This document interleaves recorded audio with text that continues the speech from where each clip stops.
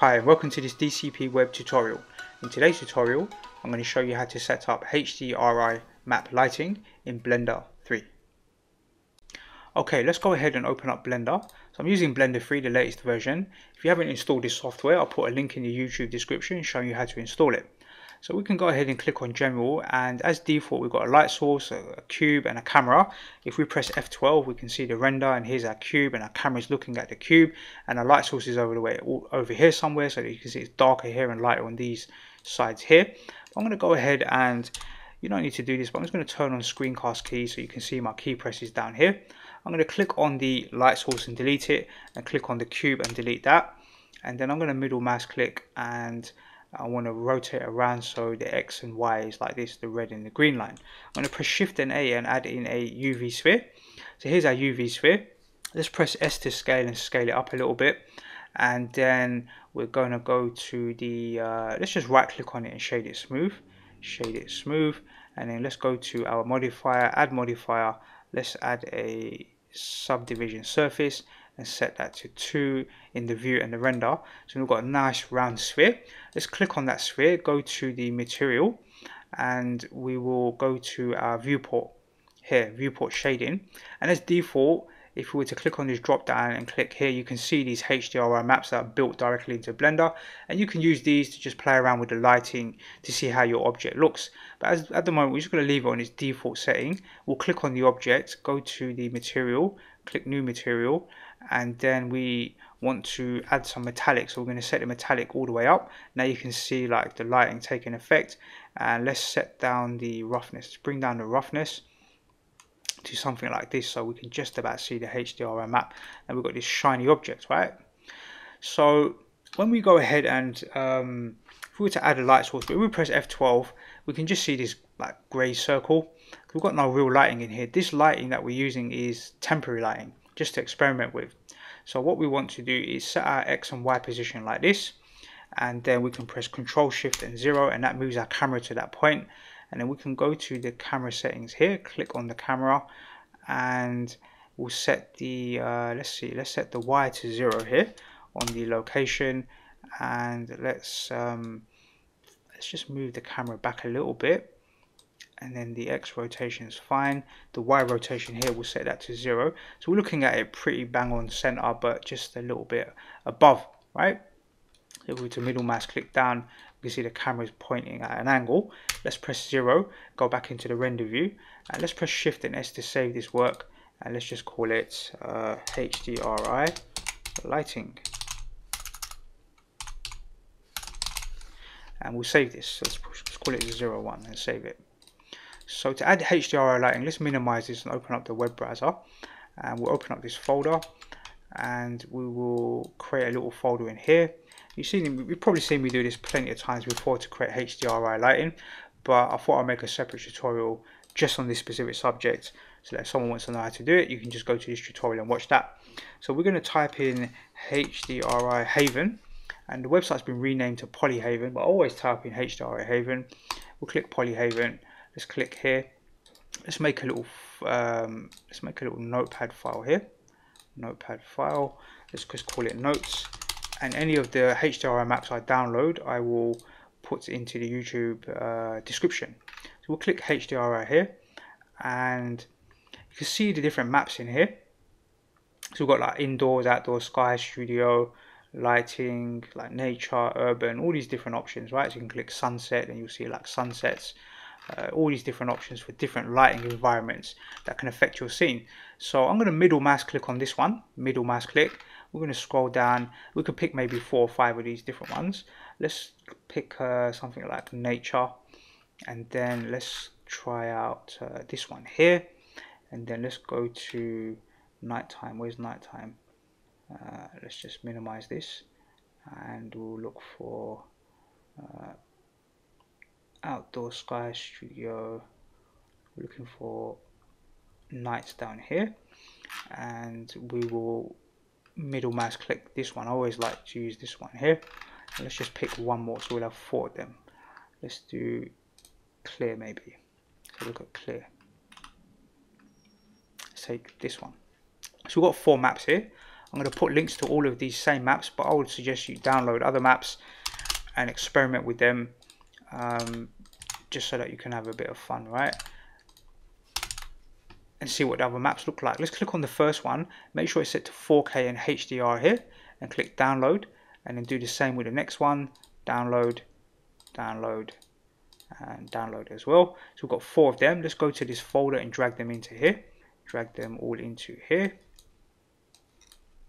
We can close this, close down the folder, and then we can go ahead and apply this HDRI map. So let's go back to Blender. I'm loading the long, wrong version. Let's go to this one. And let's go to shadings.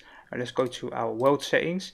And in here we've got um, the background, the default background and the world output. Now, if we go to our render view and zoom out a little bit, let's press zero in fact so we can see what the camera sees. And you can change the strength here, right? Change the strength of the background color. You can change its background color. I'm going to leave it as default one here. I'm going to press Shift and A and add in a mix shader. Mix shader. So you press, let's do that a bit slower. Shift and A, Shift and A, and then go to shader and add a mix shader and drag it in here. And then press Shift and A again, and we will in fact take this background and drag it. In fact we can just leave it here. Leave it here as default. And what we might do is change its color to black. Let's just change it to black. Or quite a dark gray. Very very dark gray. We'll press shift and a texture and environmental texture then we'll press shift and a and we want uh, we want uh, let's see we want vector mapping, right? So shift and A, vector mapping is here. And then we want shift and A and we want to do a uh, texture coordinates. And then finally shift and A and input and we want a light path here. So take the generated, connect it to the vector here. Take this vector, connect it to this vector, take the color, connect it to here. And then take the is camera ray. In fact, we won't do that yet. Let's click open and let's go to HDRI map and we'll click one of these and click open. So now you can see the HDRI map, right? Um, let's click on the sphere. We can rotate around it and you can see the the HDRI map in the background and it's affecting the the sphere here because this the sphere itself is metallic, right? We put a metallic um, effect on the sphere, uh, which is why you can see it's reflecting all of that. Um, you can go back to the object settings in here and you could change the roughness of the sphere. So you can make it fully metallic and now you can actually see uh, the HDR map reflected inside of this this sphere or you can increase the roughness just to blur it out a little bit but still have the effect of the the lighting in there right? I prefer to do it this way. It just looks a bit better rather than seeing like all the hills and stuff in the background. You can reduce the metallic as well a little bit just to like fade it out. And experiment with the settings right? You can even add um, a bump map to this if you wanted to. You can press shift a. Uh, we could add a bump map. So let's see texture. Let's see uh, in fact we'll add a, a noise texture and then a let's see vector bump. And you can connect that to the normal here. You can connect the factor to the height here. And then let's see. Now we can kind of add a bump map to the to the object itself. We can reduce its strength or increase it. You can change the detail you can make it quite rough like this and now you can see the effect that it's having and you can go back up to your roughness and reduce that and you won't see so much of the reflection because it's got roughness to the edges so you won't see it like a clear clear reflection um, of the surface, right? So I leave you to go and experiment with those those settings. Uh, metallic, we'll set that all the way up, and you can play around with the roughness here, like this. Maybe we'll bring down the the uh, the um, scale here something like this, right? So with shiny object that has a little bump map applied to it. Let's go back to our world settings, and inside the world settings, we have um, the camera ray. So what we can do is connect this over to the factor and that will just basically hide the HDR map in the background. Now we've just got the object rendered with a black background and we can change the background color uh, in fact what we need to do if we want to change the background color we need to uh, press shift and A and insert a uh, shader background here and connect it to the bottom here. Now we can manipulate the background color. We can change it to blue any sort of color we want. We can decrease the the, uh, the color here. We can remove its strength so it would just be black. So you can go and experiment with the background here. Um, accordingly, right? So I'm going to set it to black, so I just want it to be black. Um, now you can really place any object in your scene and as long as it's got some sort of you know material that can reflect light then you're going to see that effect applied. So if we were to go to the map and select a different one you'll see the lighting will change right? The lighting's changed now. It's got the, like the blue sky. Um, we can go to the Shanghai one click that and we'll see the lighting from that particular object we can go over to here and add a bloom and then we can apply a bloom effect. You can get some nice sort of effects inside of your scene. So you can apply this to text objects as well. So as an example um, if we just grab this object let's go to our in fact we'll go to solid view for the moment. We can click this object and let's just um, let's just drag it out the, the scene for the moment. Press shift and A and let's just go to text. And we want to rotate this text so it's completely in the wrong direction that's probably me setting up the camera wrong anyway. So let's go ahead and um, let's just rotate this text. So we're going to rotate it on the Z axis I believe. Z rotation. Uh, we're going to rotate around this way. So let's set it to minus 90 and then let's rotate it on the let's see where's our camera gone? Camera is here. So let's undo that and then we want to rotate on the x-axis let's set it up to 90 let's press 0 uh, 0 so we can see the camera view. Now we can see the text standing uh, but it doesn't look that great does it? So let's go to our text object. Let's um, go to font. Let's increase its size and let's just type in um, we can click on the text go to its edit settings and type in uh, HDRI. I'm just going to type in HDRI and then press the tab key to come out of the edit settings or yeah, the edit mode into back into object mode. And we can increase this a little bit. Let's um, set the center position here and the top set it to center here as well and we'll click the blue arrow and just drag it above the floor where the floor would be. Let's press 0 again. In fact let's middle mouse click and rotate around. And we want to go to our geometry. Let's extrude this object. Not need to extrude it that much. And let's just set the bevel to like 0.2 something like this. Should be pretty good. And uh, let's just uh, grab our camera. And I want to move it up a little bit. So location on the Y uh, sorry location on the Z let's move it up slightly. And I want to move it forward. So let's bring it forward let's bring it down. I just want to get closer to this text here just move the camera a bit closer or you can make the text a bit bigger. Either way around we'll click on the text. And in theory we should just be able to go to our material. Let's go to our render view. So we can see the text in here. And we should uh, let's just click on the drop down. We should be able to just apply that other material to it. So the original material that was on this this uh, sphere we've applied it to the text now.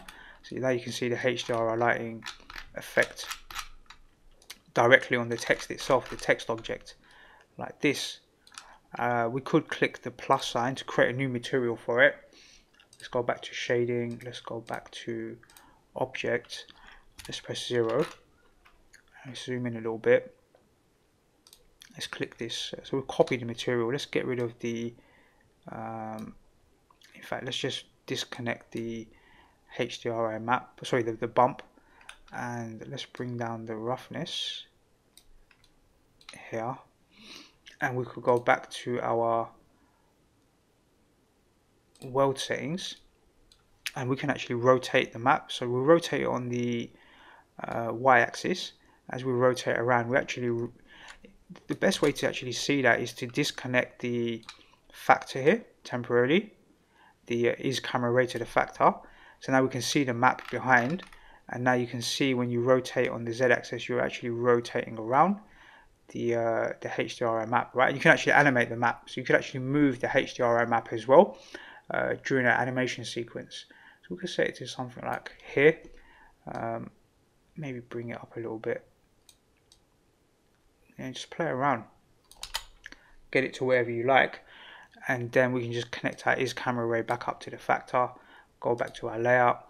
Press zero. We can see the text. This is our and then we can render. Now we can see the HDR map taking effect against the text. Right?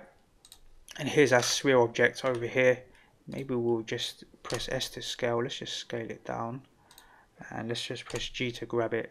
And we'll move it. Fact let's put that as a little dot above it. Just like uh, let's just grab this. Something like that just for a bit of fun. Let's try and render that. We've got a little little circle or sphere there and that's got the bump map applied and this one doesn't right? That's how you set up HDR mapping or lighting inside um, Blender. So it's nice and easy to do and you can get some nice effects. I don't really want this object here. Um, you can go back to your shading and then go back to the map itself and choose a different one. So I think we haven't chosen we haven't chosen the top one so let's select that one. Now you can see the difference right? And if you're not too sure you can always remove the camera ray you can kind of see what's going on in this background and that's what's affecting the the lighting in here. And remember you can just rotate them or you can set them back to their default values 0 and 0 and then it'll be in its default position and you can see how the lighting that looks, that looks quite nice as well. So you can now just connect back up your is camera ray over to here. Press F12 and now you can see the render like this. You can always click on the text go to its material click on the base color you can change the base color. It doesn't have to be that gray color. Now you can go and experiment get a nice color maybe something like this. Press F12 and now you can see the text rendered out and you've got the bloom working there as well. If the bloom is a bit too heavy a bit too extreme go into here go into the bloom settings and uh, increase the increase the threshold and bring down the radius here to something like this. And you can always turn on ambient occlusion and turn on screen space reflections as well. And that will just help improve it as well. So I'll leave you to go and experiment with um, lighting. That's the basis of it. That's the that's the node setup there that you can see right there. That's what I typically do when I'm using HDR map. That is the full node setup there. So I'll leave it on the screen for a second so you can see that. And um, hopefully you'll find this tutorial useful. I really don't like that color so I'm actually going to change it to a blue color. Let's do it to a blue color. Something like this. And that map isn't the best one. Let's see. This is the map that I tend to like to use anyway so we'll leave it on this map here. Let's just save this. Let's press render. And we can see that depending on the lighting in your map is going to affect the bloom as well. So remember that. So if you change HDRI lighting you might still want to go back to the bloom and drop the threshold and increase the radius to get more of a bloom effect um, on your text right? And now that looks a little bit better. Okay let's go ahead and save this work let's close this. That's how you go about setting up HDRI map lighting in Blender 3 hopefully you find this tutorial useful. Go and experiment. Don't forget to subscribe to my YouTube channel where you can access over 750 free video tutorials. That's the end of this tutorial and I look forward to seeing you in the next DCP web tutorial